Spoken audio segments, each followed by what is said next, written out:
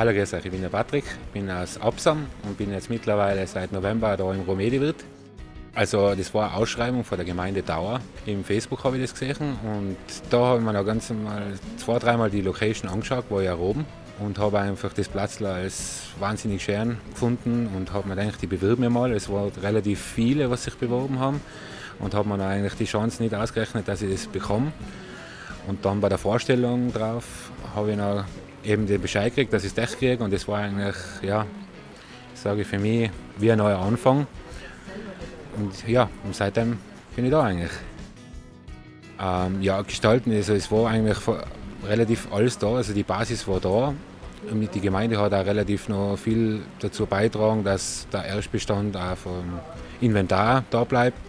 Und das war für mich in der schwierigen Situation in Corona relativ super, muss ich jetzt ehrlich sagen, dass ich da eher an Kosten noch gespart habe.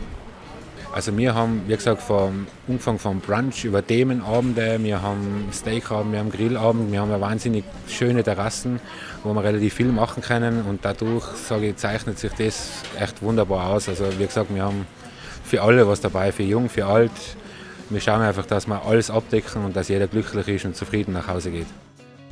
Also wie gesagt, wir sind jetzt gerade dabei und machen eben oben die Märchenwiese, die was vielleicht schon einige kennen, da sind wir jetzt gerade dabei und das sollten wir jetzt bald fertigstellen und werden uns da in Zukunft äh, viel Mühe geben, dass wir da relativ äh, Veranstaltungen wie Kinoabende, im Fußball, EM und so weiter alles, wie gesagt, irgendwie auslegen können, dass für jeden wieder, wie gesagt, was dabei ist. Ja, also wir haben immer von Dienstag bis Sonntag durchgehend geöffnet. Wir haben die Küche auch durchgehend offen, von 9 Uhr weg haben wir den Brunch und ähm, würden uns freuen, wenn Sie uns besuchen darf. Und ja, wir sehen uns. Danke.